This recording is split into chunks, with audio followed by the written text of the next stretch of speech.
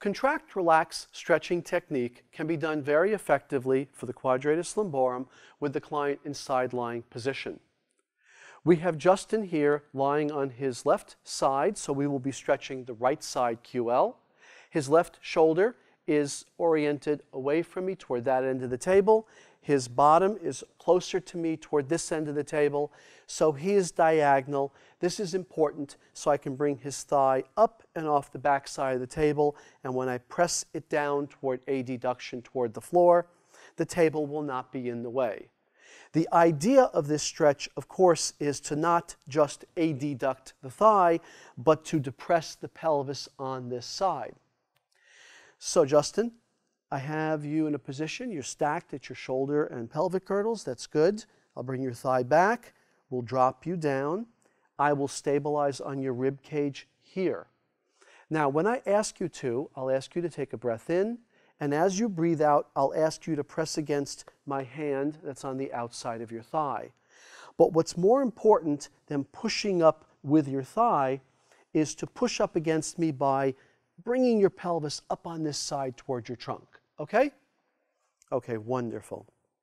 So, first repetition, we begin. You have a position of stretch here. Good. Take a breath in.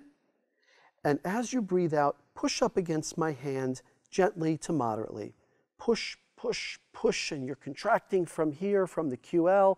Keep pushing. Three, two, one. Relax. Finish breathing out.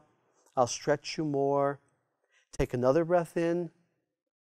As you breathe out, push up against me again. Press up against me, primarily contracting from here. Bring that pelvis up. Keep pressing. Keep pressing. Three, two, one. Relax. Finish breathing out. I'll stretch you even more. Take another breath in.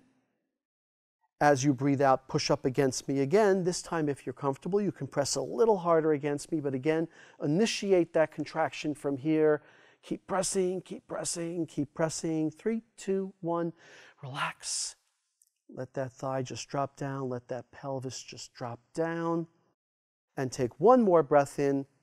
Last repetition. Breathe out and press against me. And you can gradually increase your pressure Keep pressing, keep pressing. Three, two, one, and relax. And just finish breathing out and breathe comfortably. And I'm going to hold this position of the last repetition stretch for a little bit longer. Okay, I'll bring you back to the starting position.